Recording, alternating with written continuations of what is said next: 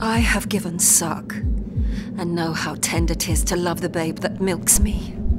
I would, while it was smiling in my face, have plucked my nipple from his boneless gums and dashed the brains out, had I so sworn as you have done to this.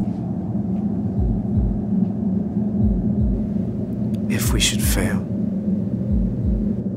We fail.